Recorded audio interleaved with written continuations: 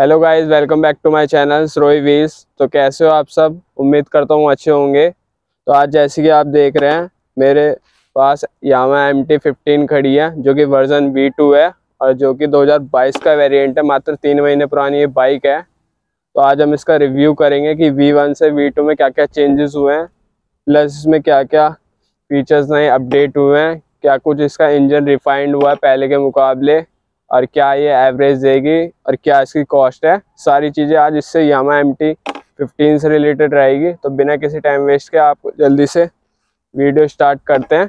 और उससे पहले कुछ सिनेमैटिक शॉट देखिए जो मैंने इसके लिए बनाए हैं और वीडियो को एंजॉय कीजिए।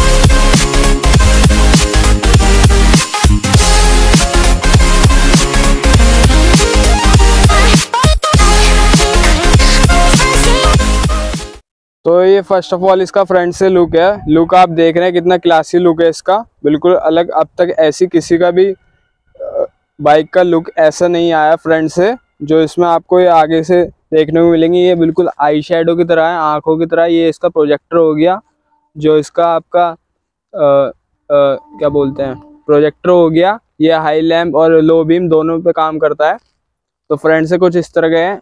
इंडिकेटर इसमें नॉर्मली हेलोजन वाले मिलेंगे जो कि वी वन में भी थे और वी टू में भी सेम यही आ रहे हैं तो कोई इसमें चेंजेस नहीं है। चेंजेस आपको बताऊँ तो मैं, ये शोकर हैं इसके। ये शोकर पहले नॉर्मल आते थे, अब ये यूवी के शोकर आए हैं तो ये मोर एब्जॉर्ब करते हैं। जो गड्ढे वड्ढे होते हैं नॉर्मल अगर आप चलेंगे तो ये कम एब्जॉर्ब करके तो इसमें आपको पता नहीं चल पाएगा, पहले के मुकाबले। तो क्या बोलते हैं, आपके सस्पेंशन में चेंजेस हुए हुए हैं, इसमें काम हुआ हुआ है। और ये सिंगल चैनल एबीएस आती है तो इसमें खाली आपको फ्रंट में एबीएस देखने को मिलेगा बैक में कोई एबीएस नहीं है, जो कि पहले भी सेम यही था तो इसमें कोई चेंजेस नहीं है। इंजन थोड़ा बहुत रिफाइंड किया हुआ है बस।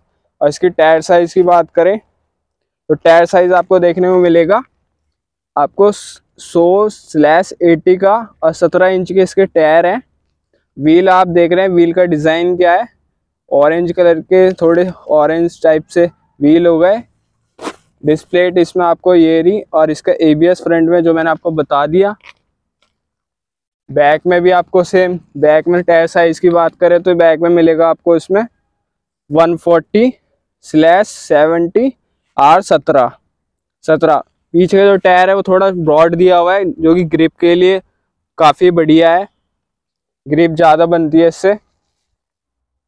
तो फ़र्स्ट ऑफ़ ऑल हम इसके इंजन की बात करते हैं। इंजन में इसको आपको जो इंजन है इसका liquid cool four stroke four valve engine है, जो कि आपकी सीसी प्रोड्यूस करता है। एक सौ पचपन सी का इसका इंजन है और जो मैक्सिमम टॉर्क प्रोड्यूस करता है फोर्टीन पॉइंट वन एन की टॉर्क प्रोड्यूस करता है इंजन जो इसका।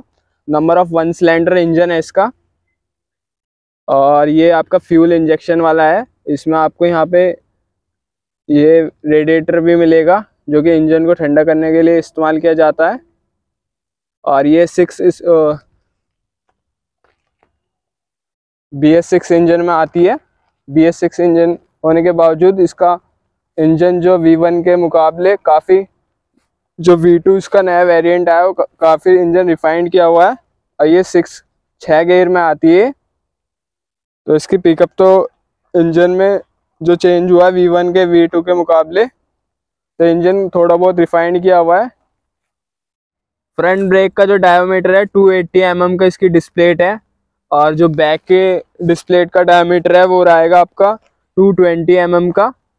तो अब इसकी साउंड की बात करते हैं। साउंड इसकी मैं आपको सुनाता हूँ। चल। तो ये इसकी साउंड है।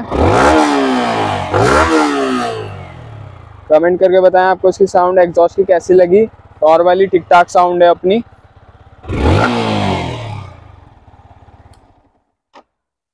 अब चलते हैं इसके रियर की तरफ़। रियर रियर की तरफ़ में आपको एलईडी टेल लाइट देखने को मिलेगी, जो कि एलईडी आपके इंडिकेटर नॉर्मली हेलोजन जो मैंने बताए थे आपको, यहाँ पे साइड में रिफ्लेक्टर भी दिए हुए हैं कंपनी ने।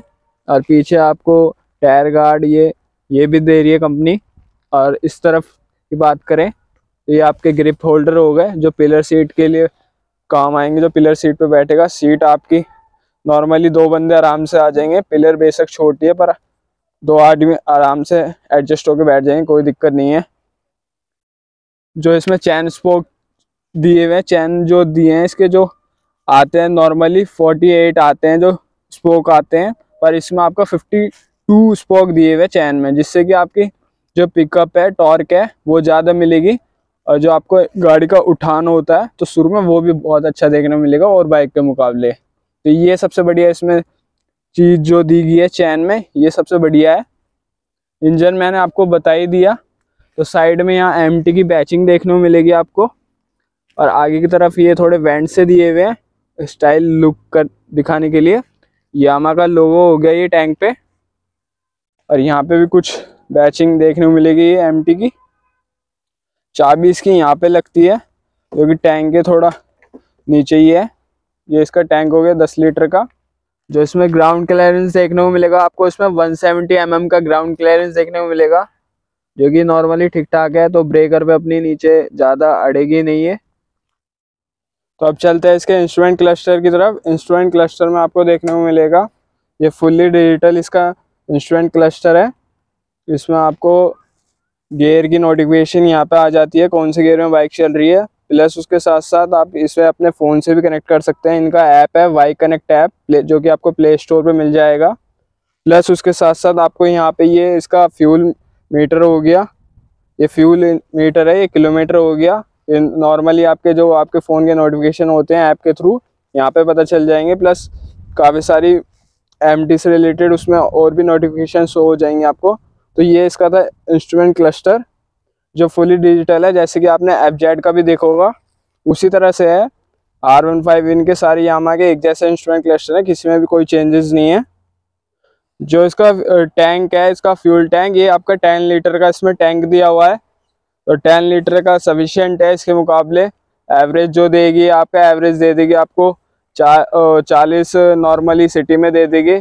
और हाईवे में फोर्टी फाइव राउंड दे देगी समथिंग तो एवरेज भी ठीक ठाक मिल जाएगा आपको, क्योंकि एक सौ पचपन सी सी की है तो यही इससे हम यही इससे हम सोच सकते हैं कि इतना एवरेज दे सकती है बस ये। बाकी आपके सामने सारे ये, मैंने आपको टोटली इसका लुक दिखा दिया, इसके सारी चीज़ें बता दी क्या क्या इसमें कुछ चेंज है, क्या नहीं है, पहले के मुकाबले। तो इसमें ये अपना इसका आइस फ्लू कलर आता है यामा का ये काफ़ी स्टाइलिश है। और काफ़ी डिमांड में है इस टाइम ये बाइक पूरे ओ पे भी अगर आप इसे रीसेल वैल्यू की बात करो तो रीसेल वैल्यू में पूरे ओ पे सिर्फ़ दो एमटी सेल में है। वो भी वेरिएंट भी उन्नीस बीस है। तो रीसेल वैल्यू इतनी तगड़ी है कि कहीं भी कोई भी जिस किसी पर्सन के पास है, वो सेल नहीं करना चाह रहा। क्योंकि सब पता है चीज़ है और चीज़ में जान भी है। क्योंकि कंपनी या मैं एम टी फिफ्टीन दे रही है तो पब्लिक पब्लिक खाम का कोई वो नहीं है कि एमटी के पीछे खाली नाम ही चल रहा है एमटी का। बाइक में दम है जब भी पब्लिक एमटी के पीछे खिंचाव आ रहा है एफ़ जेड से ज़्यादा यामा की सबसे ज़्यादा बिकने वाली जो अब इसकी टॉप स्पीड की बात कर लें टॉप स्पीड ये आपके अराउंड 130 किलोमीटर पर आवर अपनी कवर कर लेती है और बाकी चलाने वाले के ऊपर है किस हिसाब से चलाएगा। तो उसके हाथ में कितनी भी स्पीड वो तो फिर ज़्यादा पर मैं रिकमेंडेड नहीं करूँगा कि आप ज़्यादा भगाएँ क्योंकि जान सबको प्यारी है अपनी। तो, रोड पे अपने हेलमेट लगा के चलें सब चीज़ से रोड पे चलें तो सेफ्टी के साथ चलें। और जो इसकी zero to hundred kilometre per hour speed आप कवर करेंगे तो ट्वेल्व पॉइंट एट सेकेंड में कवर कर लेगी ज़ीरो टू हंड्रेड तो पिकअप काफ़ी उठान काफ़ी बढ़िया है इस बाइक का।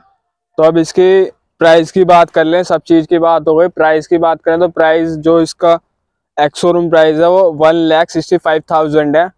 और बाकी ऑन रोड की बात करें तो ऑन रोड में टैक्स वैक्स जुड़ के जो भी जिस शहर से आप लेंगे तो उसके हिसाब से गवर्नमेंट के टैक्स के अनुसार ये आपको पड़ जाएगी।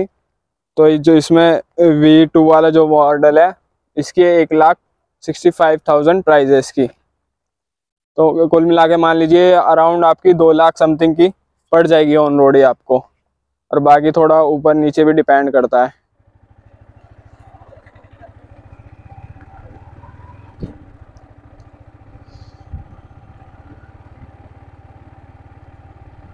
तो ये मैं एक आपको इसमें राइड भी दिखा रहा हूँ। तो आप देख लीजिए कैसे इसमें गियर इंडिकेशन चेंज होते हुए भी आपको नज़र आ रहे होंगे।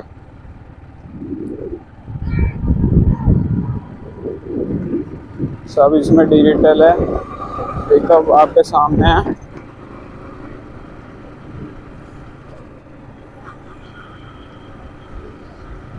हैंडलिंग काफ़ी बढ़िया बाइक की। लॉन्ग रूट पर आप आराम से चला सकते हैं, कोई दिक्कत वाली बात नहीं है इसमें। आपका हाथ तो हाथ कोई नहीं दुखेगा पोस्चर भी काफ़ी बढ़िया है इसका।